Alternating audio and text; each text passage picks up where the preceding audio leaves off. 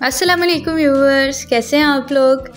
उम्मीद करती हूँ आप लोग खैरियत से होंगे और आप लोगों की दुआओं से मैं भी खैरियत से हूँ। आप देख रहे हैं निमराज फ़ूड डिस्कवरीज और मैं लेके आती हूँ हर रोज़ आपके लिए अमेजिंग रेसिपी तो इसी तरह जो आज की रेसिपी है, वो भी बहुत ही अमेजिंग है और आप सबको बहुत ही ज़बरदस्त ये रेसिपी लगेगी। क्योंकि आज हम बनाएँगे आलू वाला पराठा, वो भी लच्छा पराठा आलू वाला और इतना क्रिस्पी इतना ज़बरदस्त इतना यमी बनेगा ना कि अगर आप आलू वाला पराठा इस तरीके से देख लेंगे ना वीडियो को तो आप दोबारा हमेशा इसी तरह से बनाया करेंगे। तो चलिए फिर चलते हैं रेसिपी की तरफ़। बिस्मिल्लाह पढ़कर रेसिपी को बनाना स्टार्ट करते हैं। तो सबसे पहले तो हमें डो गूंदनी होगी। अच्छा यहाँ पे जो आप डो है ना, आप सिंपल इसे जो हम गंदम के आटे से बनाते हैं, वैसे भी बना सकते हैं। लेकिन अगर आप इसे मैदे से बनाएँगे तो ये ज़्यादा ज़बरदस्त लगेगा। इसी वजह से मैंने यहाँ पे मैदा यूज़ किया छान के यूज़ करिएगा। और मैदे के अंदर हमने ऐड किया है one teaspoon salt baking powder भी ऐड करेंगे। उसके बाद बेकिंग पाउडर वैसे ऑप्शनल है, अगर आप नहीं ऐड करना चाहते तो कोई मसला नहीं। उसके बाद मैंने इसके अंदर ना कलवंजी ऐड किया है, जो कि इतना ज़बरदस्त टेस्ट देगी, बहुत ही ज़बरदस्त टेस्ट देगी और हमारी सेहत के लिए भी बहुत ही परफेक्ट होती है। तो अगर आप इस पार्ट को स्किप करना चाहें तो ये आपकी अपनी मर्ज़ी है। बस सिंपल आपने क्या करना है डो को जिस तरह हम आटा गूंदते हैं ना सेम उसी तरह से डो को गूंद देना बिल्कुल सॉफ्ट सा तो इसको रेस्ट दे दीजिएगा तकरीबन पंद्रह से बीस मिनट का। उसके बाद हम पराठे रेडी करेंगे, लेकिन अब हम मिक्सचर रेडी करते हैं। इससे पहले अगर आप मेरे चैनल पर नए हैं तो चैनल को सब्सक्राइब करना तो बिल्कुल मत भूलिएगा। बेल आइकन भी दबा लीजिए। इससे आने वाली हर नई वीडियो का नोटिफिकेशन आपको पहले से ही मिल जाता है। और आप मुझे फेसबुक इंस्टाग्राम और टिकटॉक पे भी फॉलो कर सकते हैं निमराज फ़ूड डिस्कवरीज के नाम से। तो यहाँ पे ना अब मैंने दो मीडियम साइज़ के आलू लिए हैं। उनको हमने बिल्कुल प्रॉपर मैश कर लेना है। जब आप इन्हें मैश करेंगे ना तो ये ज़्यादा ज़बरदस्त तरीके से अंदर लग सकेंगे। उसके बाद हमने इसके अंदर ऐड कर दिए सब्ज़ मिर्चें। प्याज को चोट करके ऐड करिएगा।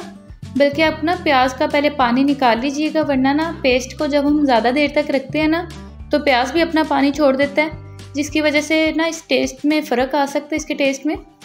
इसी वजह से आप इसको अच्छी तरह से निचोड़ के ऐड करिएगा। अब तमाम स्पाइसेस ऐड करके हमने इसको मिक्स कर लेना है। स्पाइसेस तो आपको नज़र आ चुके होंगे। बेसिक स्पाइसेस जो हमने थे, वो ऐड किए हैं। यानी कि गरम मसाला पाउडर धनिया पाउडर उसके बाद सॉरी धनिया पाउडर नहीं, मुझे ना साबुत धनिया बहुत ही ज़बरदस्त लगता है, इसलिए मैंने इसी तरह ऐड किया है। अगर आप धनिया पाउडर ऐड करना चाहते हैं तो वो आपकी अपनी मर्ज़ी है। उसके बाद हम इस तरह से इसके बोल्स बना लेंगे। बोल्स बना के ना हमने इसको रेस्ट देना होता है। तो अगर आप इन्हें रेस्ट देंगे तो ज़्यादा परफेक्ट तरीके से जो हमारे लेयर्स हैं, वो बन के सामने आएँगी, यानी कि अच्छी लगेंगी। अब हमने क्या करना है? इसके ऊपर मैदा डस्ट करना है। उसके बाद हम इसको बेल लेंगे। और इसको आपने जब बेलना है ना तो इसको आपने इतना ब्रीक बेल लेना है कि नीचे से काउंटर नज़र आना स्टार्ट हो जाए।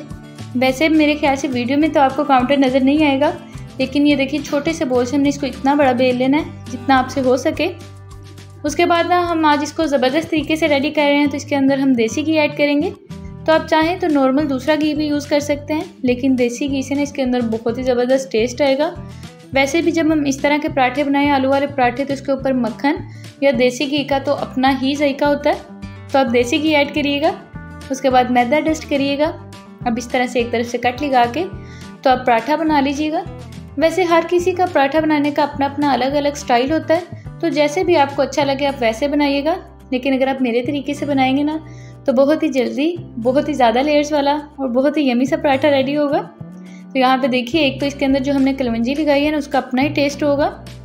अब ना मैंने इसको तकरीबन ना 20 मिनट का रेस्ट दिया था, क्योंकि जब आपने देखा होगा हमने पेस्ट बनाया था ना, उससे पहले ही मैं ये प्रोसीजर कर चुकी थी।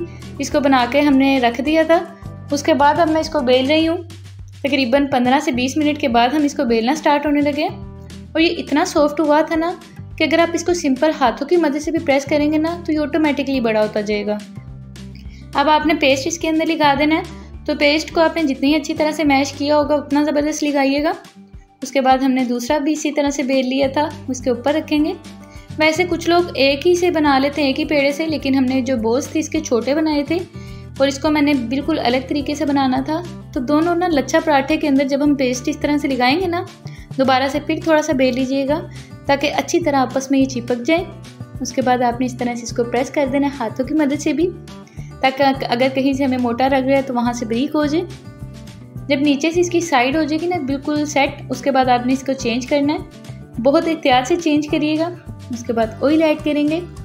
अगर आपको मेरी कोई भी रेसिपी अच्छी लगा करे तो मुझे लाजमी में बताया करें, ताकि मैं आपके लिए मज़ीद इस तरह की अच्छी अच्छी रेसिपीज़ लेके आती रहूँ। तो देखिए, हमने ना ऑयल डाल के इसको दोनों तरफ़ से पकाते जाना है। वैसे यहाँ पे भी आप देसी घी का यूज़ कर सकते हैं, लेकिन मैंने यहाँ पे ऑयल यूज़ किया उसके बाद देखिए क्रिस्पी होने तक हमने इसको पकाते जाना है।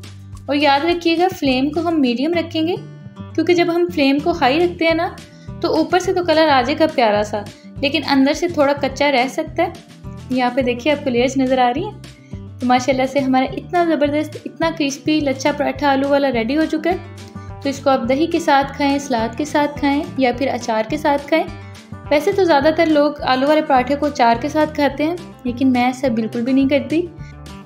लेकिन अचार मेरा बिल्कुल परफेक्ट बना है और ये भी थोड़ा सा पकने वाला है। यहाँ पे मैंने वीडियो के लिए यूज़ किया चलिए, आप भी रेसिपी किसी इसी तरह से ट्राई करिए और मुझे लाजमी कमेंट में बताया करें अगर आपको मेरी कोई भी रेसिपी अच्छी लगा करे।